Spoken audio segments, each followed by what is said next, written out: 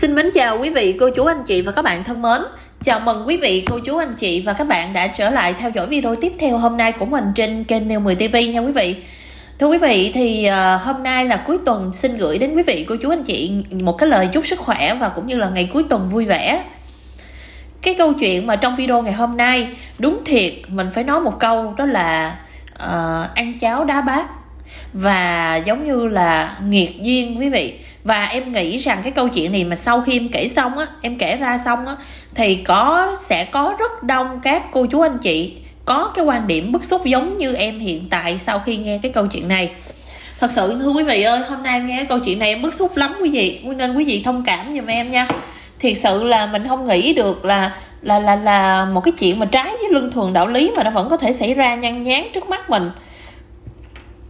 thì uh, cái câu chuyện này nó như thế nào? Qua đây em xin mời quý vị của chú anh chị mình cùng lắng nghe chia sẻ quý vị. Hai năm trước thì uh, uh, mẹ vợ của các anh uh, mẹ vợ của tôi uh, qua đời. Thì trước khi mà nhắm mắt á là ở dưới quê á cái bà má vợ bà má vợ tức là cái này là hai vợ chồng anh anh hai vợ chồng này là việt kiều ha. Hai vợ chồng này là việt kiều sống bên mỹ quý vị thì ờ, cái cô vợ ở Việt Nam còn một người chị gái ờ, đang sống cùng má ở bên Việt Nam á. Mà cái người chị gái đó thì ngày trước là lấy chồng ờ, kết hôn trước rồi sớm rồi. Nhưng mà sau đó thì cái người chị gái đó là đổ vỡ hôn nhân ly dị chồng. À, ly dị chồng nhưng mà chưa có con với cái người chồng đó cho nên á, là cái người chị gái mới dọn nhà về nhà ở cùng với bà mẹ ruột ha. Cho nên là ở Việt Nam á, bây giờ là chỉ còn ha, chị người chị gái ở cùng với bà má ruột. Mà trong khi đó cái bà má ruột á, thì lại bây giờ qua đời rồi. Cho nên là cái trước khi bà má vợ qua đời thì bà má vợ á, mới uh, trong một cái cái cái cuộc cuộc nói chuyện qua điện thoại trước khi trước cái, cái ngày mà bà qua đời á, cũng giống như là trước cái người lớn tuổi quý vị biết mà cái người lớn tuổi họ thường có một cái tâm nguyện mà họ để trong lòng và họ lo họ canh canh cánh khi mà cái tuổi già và họ không biết là ờ, uh, tối lửa giống như là bất cứ lúc nào mình có thể là mình chết mình không biết được. Thì họ có một cái tâm nguyện và trong những cái cuộc gọi trước đó mỗi lần nói chuyện với cái cô con gái là cái cô em á cái cô em gái ở bên mỹ á thì cái người má này á lúc nào cũng nói là à, má lo cho chị con. À, mai mốt á, mà má có mệnh hệ gì á thì con đừng có bỏ chị con nha. Rồi á, con ráng á, nếu mà được á, thì lúc đó con ráng con cu mang chị con con lo chị con giùm. Chứ chị con cái số nó khổ. À, đổ vỡ chồng mà bây giờ lại không có nổi một một đứa con để mà sau này già có người chăm sóc nữa. Bây giờ nó thành sống cô độc như vậy mà nếu mà cuộc đời nó khổ như vậy thì có nghĩa là thường á, ông bà người ta nói á, là anh chị em á, ở trong nhà đó phải có một người á, là khổ nhất tức là sẽ có một người khổ nhất. Và cái người đó họ sẽ là cái người gánh những cái khổ đau cho những cái người anh chị em khác có cái cuộc sống sướng hơn. Cái đó giống như là một cái quy luật của tự tạo hóa vậy đó. Cho nên là cái người má mới nói là nếu mà má có gì á thì con nhớ là con thương chị con nhiều hơn. Tại vì chị con nó gánh vác cho con để con bây giờ á con mới có cái sự may mắn con mới có cái sự hạnh phúc là con được qua bên mỹ con sống và con có chồng có con bên đó ổn định. Cho nên là bà má mới nói như vậy. Thì bà má nhiều lần á mỗi lần nói chuyện điện thoại á là lúc nào cũng đều dặn dò cái cô em gái á, là nhớ đừng có bỏ cô chị nha. Bà má mà có chết có mệnh hệ gì thì nhớ là phải cu mang nhớ phải lo thì quý vị biết không cái người chị gái của cổ á khi mà ở Việt Nam sống cùng bà má đó thì do là cái sự bất hạnh của cái cuộc hôn nhân cho nên là uh, đổ vỡ hôn nhân đó. Thì khi mà uh, đổ vỡ hôn nhân là cái lúc mà cái người chị gái cũng mới cấn bầu xong rồi có giống như vợ chồng xích mích rồi có đánh nhau này kia đó. Uh, ông chồng mới đánh làm sao đó mà không biết mà hư thai xảy thai. Cho nên là sau khi mà bị tra tấn về mặt tâm lý với cái người chồng đó và cũng như là mất cái đứa con á thì cái người chị gái của cổ giống như là nhớ nhớ quên quên đầu óc giống như là nó không có được bình thường cho lắm. Nói chung là uh, giống như bị trầm cảm vậy đó quý vị giống như người mất hồn vậy đó. Thì nói chung là hoàn cảnh cái người chị gái lúc đó nhìn thấy rất là tội nhìn thấy cuộc sống rất là bế tắc. Thì uh, đến khi bà mẹ ruột mất bà má mất thì cái cô em ở bên mỹ đang ở với người chồng đúng không? Thì à, cô em mới nói với chồng á là mới xin chồng á là anh ơi à, má em có một cái tâm nguyện là như vậy. Mà bây giờ má mất rồi. Sẵn tiện thì ờ, mình ờ, thứ nhất là mình đem cốt của hài cốt của má mình mình xin thôi đem đem cốt má về bên bên mỹ để mà mình thờ phụng. Cái thứ nhất cái thứ hai là bây giờ ở việt nam em em cũng không còn uh, bà con hay là người thân gì nữa. Chỉ còn má với lại chị gái thôi mà bây giờ má mất thì chị hai thì giống như là chị hai bây giờ quên quên nhớ nhớ đầu óc không có được bình thường cho lắm á. Mà bây giờ để má ở dưới đó chị hai chưa chắc là thờ phụng cúng kiến đàng hoàng nữa. Cho nên nó sẵn tiện là về mình đem cốt của má qua bên đây mình thờ phụng. Cái thứ hai á, là mình lo mình mở hồ sơ bảo lãnh á, mình bảo lãnh chị gái qua bên đây luôn để mà tiện bề chăm sóc. Thì cái người chồng này rất là hiểu chuyện nha quý vị cái anh việt kiều này ảnh rất là hiểu chuyện ảnh rất là thương vợ. Thì ảnh mới uh, nghe vợ mình nói như vậy mà vợ mình là một cái người có hiếu với mẹ mà cũng như là thương, yêu anh chị á. Cho nên cái người chồng này cũng rất là tôn trọng. Vì vậy mà ảnh nói là ok, nếu mà em em lo lắng như vậy thì em cứ làm, em cứ làm theo như em nói, anh thấy cũng hợp lý. Thì khi mà các anh chồng nói vậy xong thì cổ mừng lắm, cổ rất là mừng. Bởi vì là chồng mình hiểu và thương mình à, thế là cổ bắt đầu là cổ đón cái người làm hồ sơ bảo lãnh đón chị gái từ việt nam qua bên mỹ và cho cái người chị gái đó ở chung với hai vợ chồng ở chung với hai vợ chồng trong nhà luôn. Thì à, hai vợ chồng của cô em á, là bị hiếm muộn quý vị. Mặc dù sống bên mỹ lâu rồi nhưng mà kết hôn và sống ở bên đó lâu nhưng mà chưa có con. Mà nhà thì lại rộng rãi cho nên là hai vợ chồng mới quyết định là để cho cái người chị gái ở chung với hai vợ chồng luôn. Để thứ nhất là tiện bề chăm sóc do là sức khỏe và tinh thần của người chị gái cũng không có được tốt. Ở chung như vậy đi ra đi vô, có người nói chuyện thì chị gái cũng sẽ mau bình phục. Và với lại là có thêm chị gái ở trong nhà cho đông đông người cũng vui. Đó. Thế là cái người chị gái dọn qua bên mỹ khi mà qua bên mỹ thì ở chung nhà với hai vợ chồng người em. Cái ờ, đến một cái hôm quý vị, ban đầu thì ờ, thì ờ, khi mà sau khi cái người chị gái đó ở cùng với gia đình của ờ, người em á thì cái cô em á mới bắt đầu là sắp xếp cho người chị á, là sẽ ở trên cái ờ, tầng lầu. Để mà có cái không gian riêng ở trên tầng đó để người chị sinh hoạt muốn làm gì thì làm. Còn hai vợ chồng thì ở dưới tầng lửng. À, thì uh, khi mà chỗ sắp sắp xếp cho người chị có chỗ ăn chỗ ở đàng hoàng rồi á thì cái cô em gái mới bắt đầu là tìm tìm một cái ờ, công việc cho người chị để mà người chị có cái công việc đi làm để mà có thể giao tiếp giao tiếp với người này người kia cho cho khuây khỏa. Cho nên đó là người cô ga cô em gái mới đi tìm cho người chị làm cái công việc là nhân viên vệ sinh ở một cái công ty. Mà cái công ty đó là của người bạn thân của người e của cô em ờ, mở ra cho nên là uh, quen biết á, vì vậy mà giới thiệu cái người chị vô làm nhân viên vệ sinh ở công ty đó.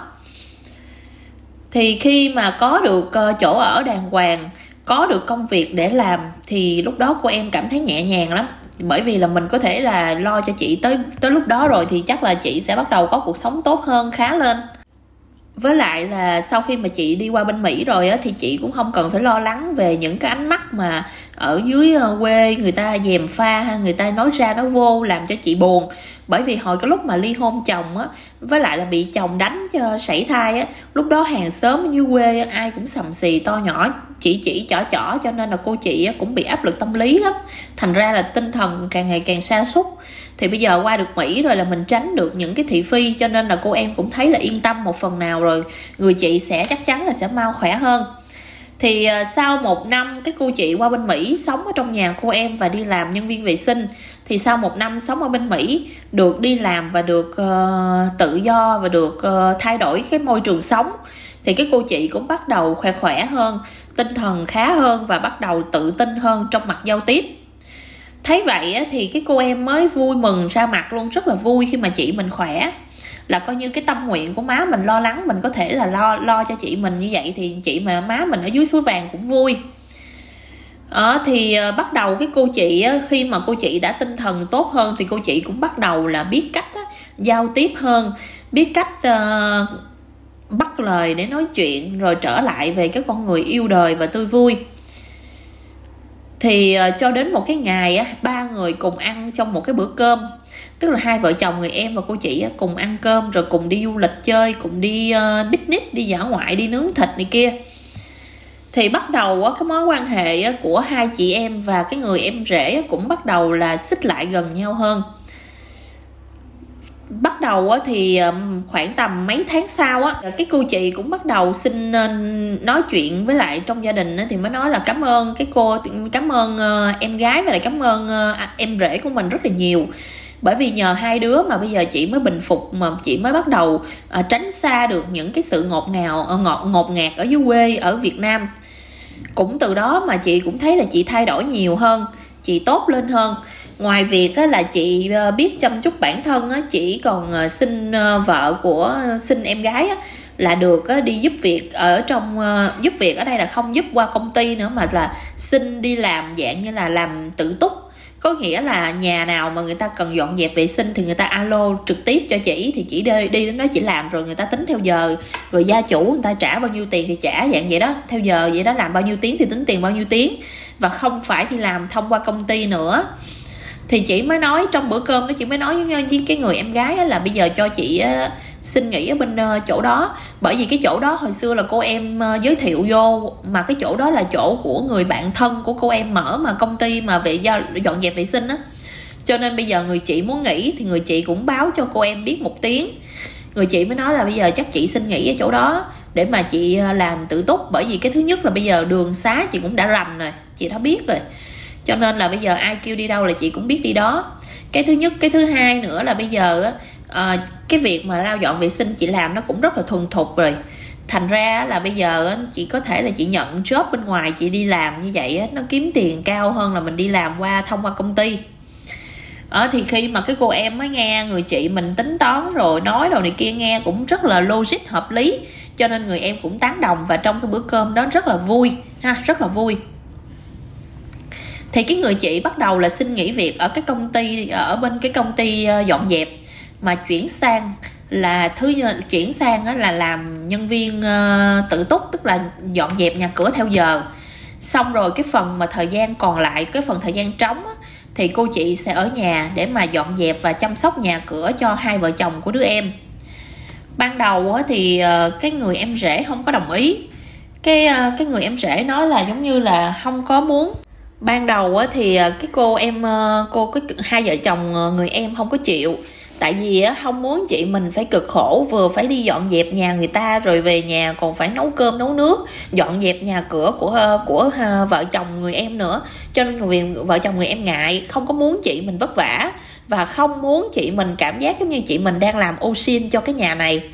thành ra đó là cái người em rể mới không tán đồng và nói rằng là chị không cần phải trở thành người giúp việc cho gia đình của em đâu.